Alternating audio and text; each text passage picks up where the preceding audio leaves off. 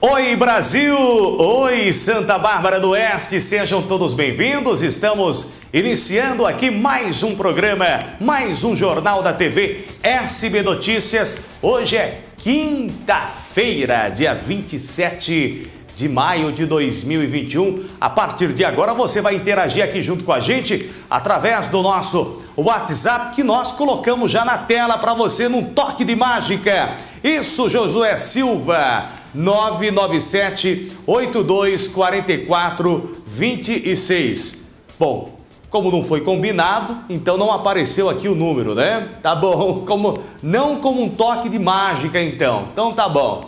Olha aí, minha gente, você vai participar aqui junto conosco para reclamações, sugestões, né, elogios, críticas, fiquem à vontade aqui no nosso jornal da TV SB Notícias, tá certo? Você vai compartilhar aqui o nosso programa de hoje, vai se inscrever aqui no nosso canal, vai interagir aqui junto conosco. Fique à vontade, tá bom? Fique à vontade para você participar. Cadê o telefone? Agora vai. Isso. Olha lá, ele apareceu aqui agora. Isso. Só porque eu falei que hoje nós íamos fazer aparecer aqui como se fosse um toque de mágica, né? Muito bem, senhoras e senhores, senhoras e senhores, hoje, super quinta-feira, né? Uma quinta-feira diferente de todas, né? Que você né, já viu na vida, porque o tempo tá gostoso aí fora, né? Já tá um tempinho, é, a neblina tá gostosa, né? E olha, e falando de, de tempo, atenção, alerta aí, hein? Vai faltar água hoje aqui em Santa Bárbara do Oeste, isso mesmo vai faltar água, o Departamento de Água e Esgoto de Santa Bárbara do Oeste vai fazer uma interligação na rede de água no Planalto do Sol e também é, ali no Jardim Firenze, né? Então alerta aí para vocês, fiquem atentos, fiquem atentos, porque é, tem que economizar água. O DAI vai fazer esse serviço de interligação na Avenida Laerson Andia, no Firenze, e na Avenida Pedroso, no Planalto do Sol. A previsão de término desta é, manutenção, desta obra, vai até uma hora, uma hora da tarde, tá bom? Então, fiquem atentos aí, vai faltar água hoje em Santa Bárbara. Já deixa aí os, os reservatórios cheios, cheios, cheios.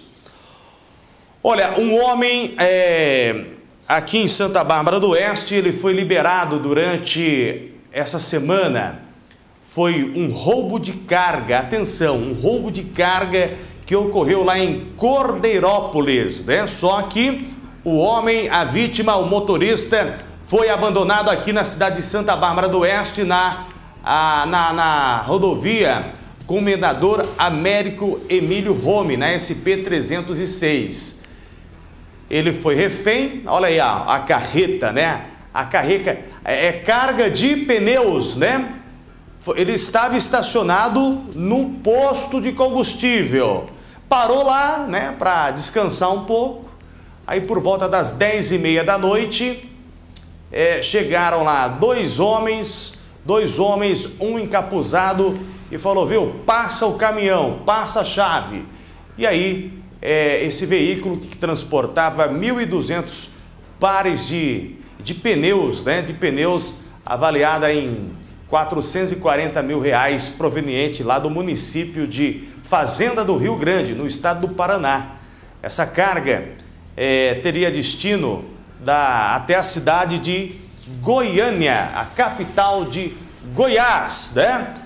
E ele foi abandonado aqui em Santa Bárbara do Oeste. E a polícia civil aqui agora, como o caso foi registrada aqui em Santa Bárbara do Oeste.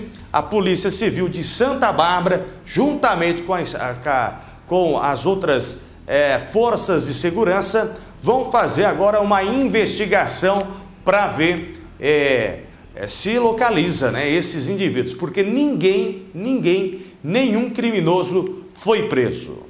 Olha aí, agradecer a você que nos acompanha aqui, atenção pelo SB Notícias. Valeu, minha gente, valeu.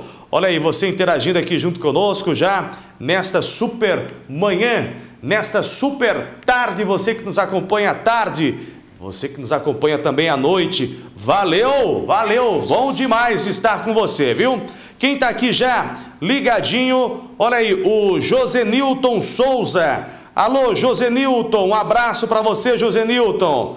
Valeu aí pela sua audiência acompanhando aqui o Jornal da TV SB Notícias. Tem reportagem, vai sugerindo para a gente aí, vai sugerindo. Olha, meu povo, é, os moradores da Rua das Palmas, no Jardim Dulce, aqui em Santa Bárbara do Oeste, eles estão pedindo socorro. Por quê?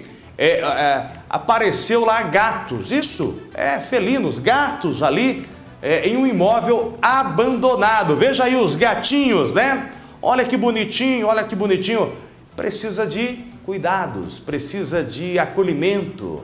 Eles, é, os moradores lá da, do Jardim Dulce, eles estão pedindo providências dos órgãos competentes aqui do município de Santa Bárbara do Oeste relação a este é, imóvel e tem os gatos ali, está infestado de gatos e eles estão doentes, estão abandonados. Cadê, cadê o centro de zoonoses, né? Cadê as ONGs de, é, que defendem os animais? Vamos ajudar aí os gatinhos, né? Olha aí, o, o mau cheiro que isso está ocasionando também ali na, na, nas residências vizinhas e, e, e que eu fiquei sabendo que tem animal morto também nesta residência. É isso mesmo, tem animal, vem cá, vem cá, tem animal morto lá. O mau cheiro tá, olha, tá, tá demais, tá demais. É, várias pessoas já foram procuradas, mas até agora não houve a solução do problema. E o que, que acontece com isso? Os bichinhos aí que não tem culpa nenhuma da situação, né? Eles acabam, né? Eles estão doentes e acabam transmitindo doença aí para outros animais e quem sabe até para o próprio ser humano, né? Para, as pessoas que circulam ali naquela área. Eles querem providências, atenção, atenção, Rua das Palmas, no Jardim Dulce. Vamos lá, minha gente, vamos ajudar o povo, vamos ajudar. A gente vai estar entrando em contato com o, a secretaria, né, o Centro de Zoonoses, para ver a resposta que eles dão aqui. É para né, essa situação, porque não pode ficar desse jeito, tem que ajudar aí os, os animais. É, um abraço aqui para Shirley Romualdo. Alô, Shirley, um abraço para você, Shirley. O Marco Antônio, alô, Marco. É, a Andréia Falcão, a Cirlei Silveira, bom dia. Nilson Araújo, ela está desejando aqui um, um ótimo dia para nós o Marco Antônio Landim também, um abraço para você, viu, Marco? O Marco, é, ele não perde um programa nosso aqui, né? Ele, todos os dias, ele tá aqui ligadinho, ligadinho, ligadinho, né? Ligadinho. Olha aí, então, eu quero agradecer hoje, num dia muito especial, a todos vocês que é, nos enviaram, me enviaram mensagens já desde manhã, é, inclusive a Mirela aqui, ó, a Mirela Silva, desejando parabéns para mim, parabéns aqui para o Nilson Araújo, muitos anos de vida, viu? Obrigado, obrigado, hein? 1.8 não é todo dia que faz, não é isso? É? Não é todo dia que faz? 1.8 produção? Não. Ah, então 1.8, né? É a idade da... Tô, tô, de, tô de maior agora, né? Maior de idade agora. Ah, obrigado pelo carinho de vocês, viu?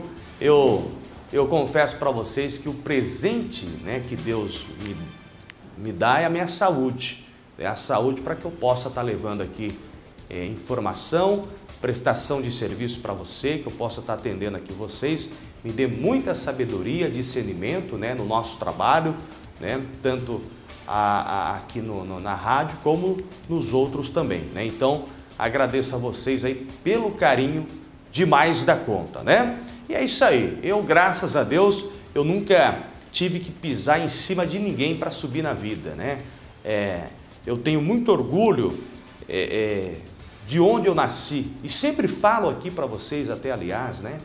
Até sempre falo né, que eu tenho muito orgulho de ser natural aqui de Santa Bárbara do Oeste e filho de Dona Margarida do bairro Santo Antônio do Sapezeiro, né? Eu tenho um carinho grande e nessa espero que essa humildade é, ela siga sempre e nós estamos aqui sempre para servir o nosso povo. tá bom? O dia que Deus tiver um outro projeto na minha vida, aí a gente vai dando sequência nos nossos trabalhos e vamos em frente que nós estamos aqui sempre para dar voz ao povo, à nossa gente.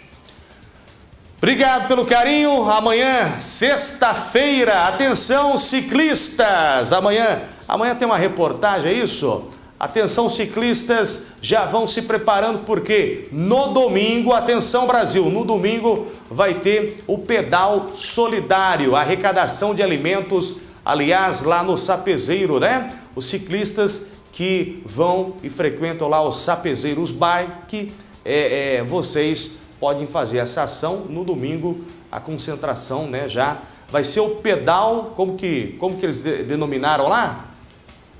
O, pedal, o drive tour do é, pedal, é isso, né? Passa lá com a bicicleta e deixa o, o, o alimento, um quilo de alimento.